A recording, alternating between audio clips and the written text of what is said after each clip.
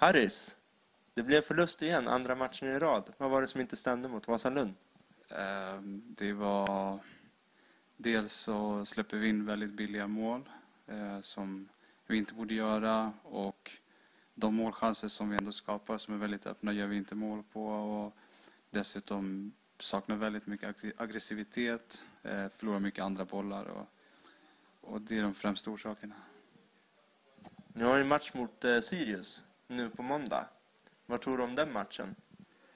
Det blir bra. Det, det, de har ju full pott och är favorittippade.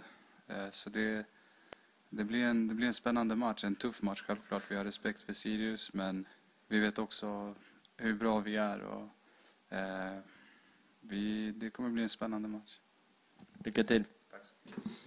Jordan Hibbett, tell me about yourself. A little bit about myself. Um, I grew up in South London.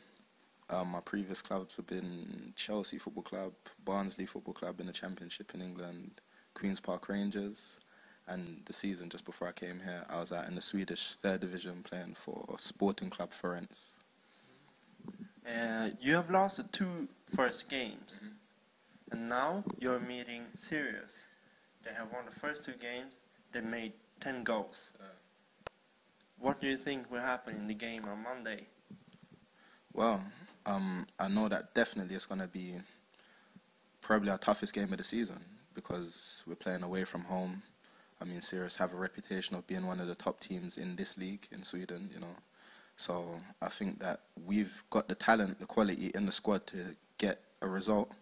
But I mean, it's, it's, it's going to be tough. It's going to be tough. We're going to have to work hard. We're going to have to battle for everything. Do you know what I'm saying?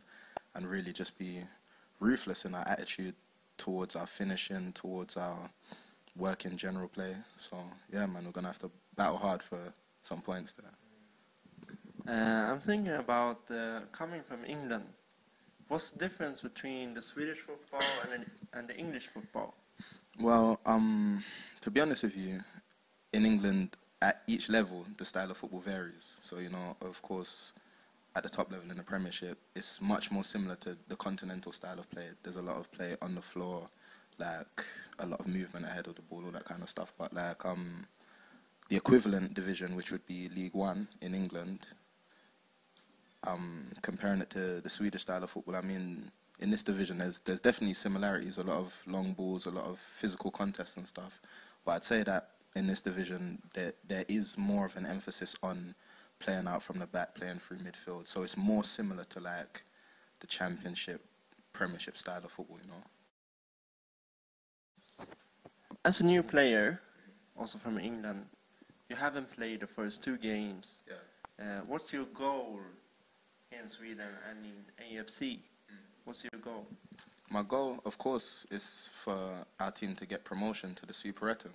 I mean, um, the president here, Alex, he's put a lot of faith in us as players. He's invested a lot into us. So it's only right that we go out there and repay him, do you know what I'm saying, by getting the promotion. But personally, my goal has always been to play at um, the highest level possible, you know, in my footballing career.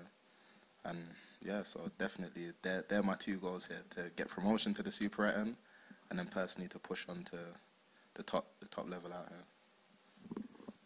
You're talking about reaching the top. Mm-hmm. How much are you willing to do to get to that top?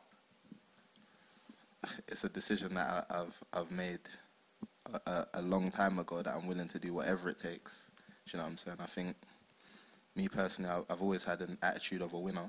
Do you know what I'm saying? And part of being a winner is being willing to make the sacrifices necessary to get to the top, you know. So, like I said, whatever I have to do, however hard I have to run, however many, you know, early nights I have to have, I'm willing to do that, man, because I'm hungry. Good luck. Thank you very much.